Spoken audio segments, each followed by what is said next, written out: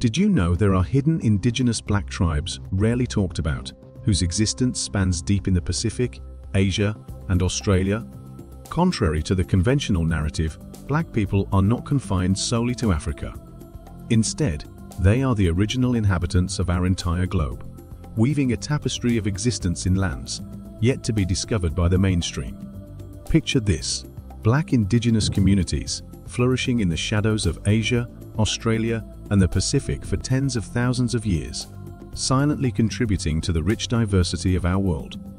Intriguingly, the world has remained oblivious to this interconnected narrative. What if all this time we've overlooked the profound link between these dispersed black communities and their African roots?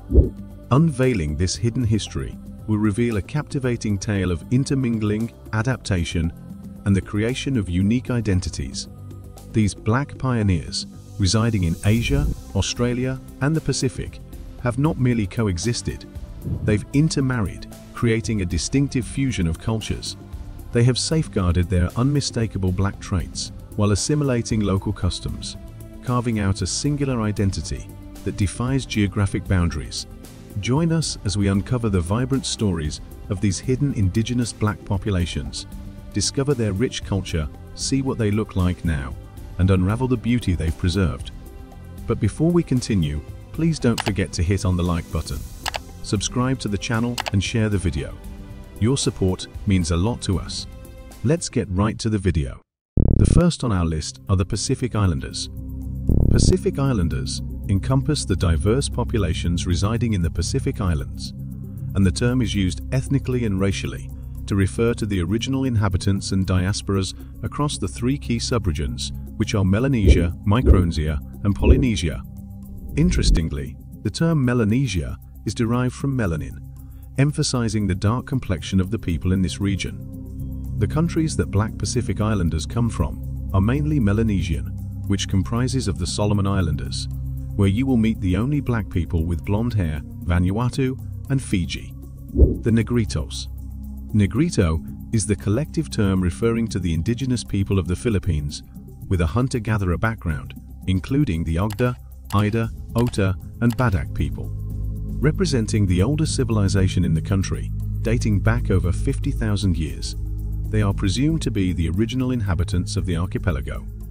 Many Negrito groups maintain a hunter-gatherer lifestyle, trading wild meat and forest products with Filipino farmers for rice or corn, and engaging in some marginal cultivation. The Kanak people of New Caledonia. Nestled in the heart of the South Pacific New Caledonia is an enchanting archipelago with turquoise waters, lush landscapes, and vibrant cultures. Among the mosaic of societies in this idyllic haven the Kanak people are a testament to the island's rich history and diverse heritage. These New Caledonia indigenous people trace their origins to the ancient Lapita culture, known for seafaring prowess and skilled pottery. This Austronesian group, originating in Southeast Asia, settled in the Melanesian Islands. Today, the Kanak people constitute about 39% of New Caledonia's population, showcasing a diverse heritage shaped by centuries of interaction with neighboring Pacific Island communities and European explorers. Recent genetic studies offer intriguing insights into the Kanak population's ancestral makeup, revealing a blend of Austronesian and Melanesian influences. The Vedda people.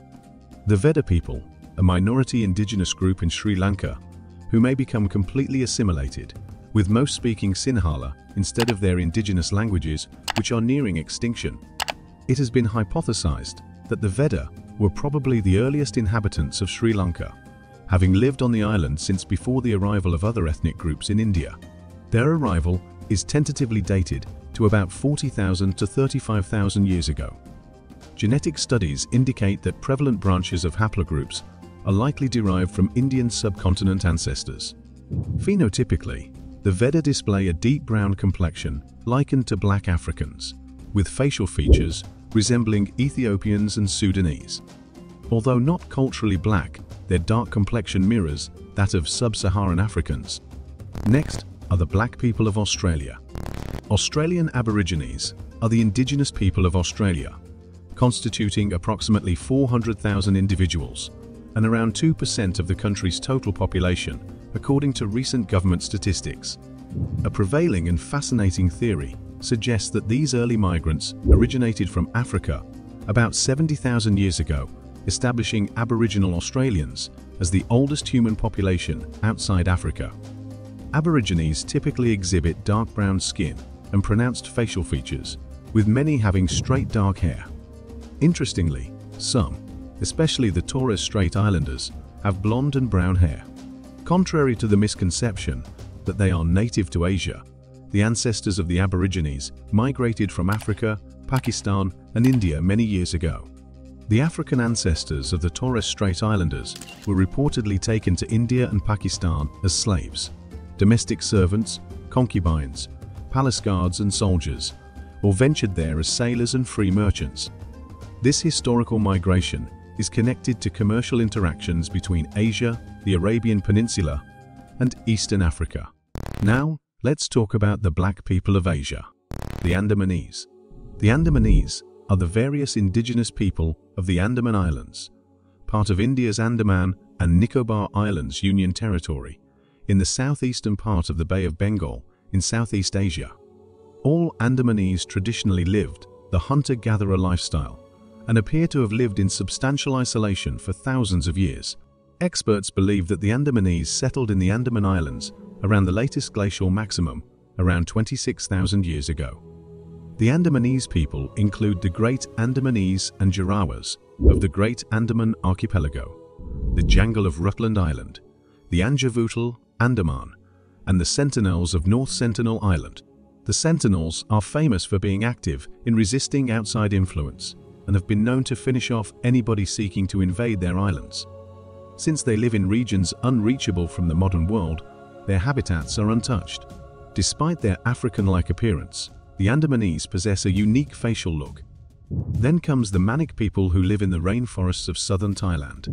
While the origins of the Maniq people remain mysterious, anthropological research suggests they are part of the broader group of Proto-Malic ethnic communities. Their facial features and physical traits look like those of the black people of Africa, but they are different in their own way. Due to geographical distance and a completely isolated environment, the Maniq people adapted to their atmosphere, which shaped them and their traits. You should know that the Maniq people rank among the smallest ethnic groups in Thailand. Genetic studies have uncovered a distinctive genetic heritage, reflecting their isolation and distinct way of life. Their genetic markers show connections to other indigenous groups in the region and ancient populations that inhabited Southeast Asia. Often characterized by darker skin and hair, the Maniq people's phenotype reflects adaptations to their forested environment, including enhanced visual sensitivity and agility that aid them in hunting and gathering activities.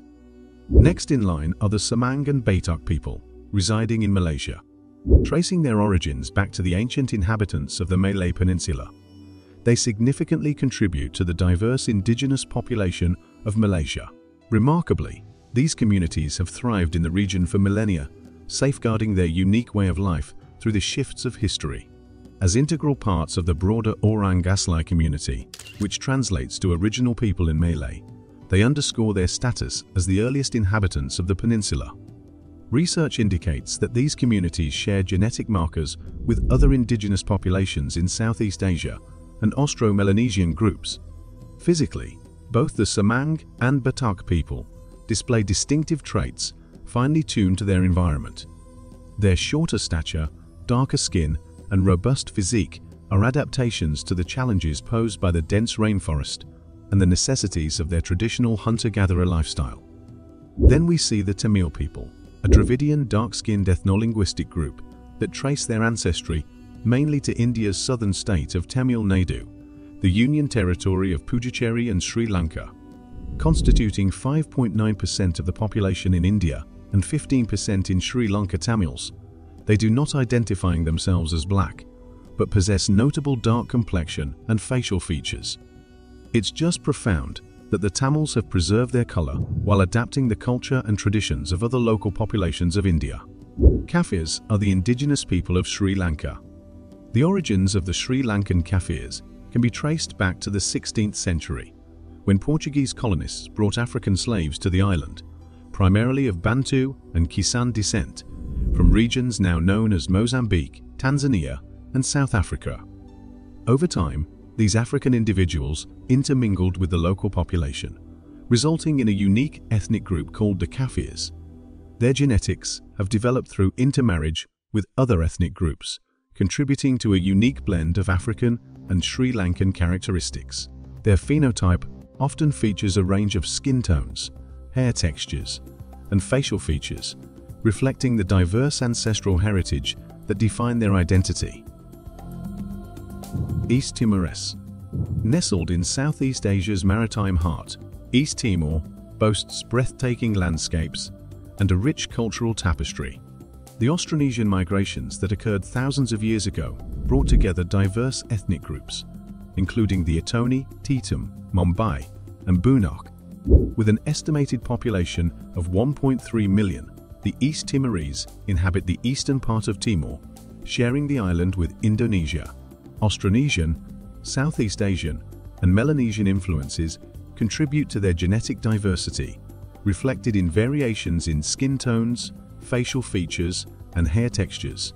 Isn't it intriguing how these individuals of African descent have undergone distinct evolutionary paths while retaining their distinctive traits?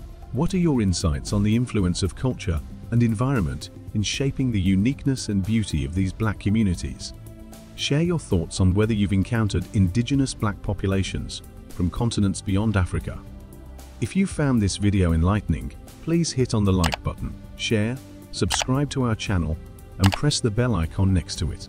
Your support encourages us to keep sharing the diverse and rich cultures of our black heritage. Thanks for watching. See you all in our next video.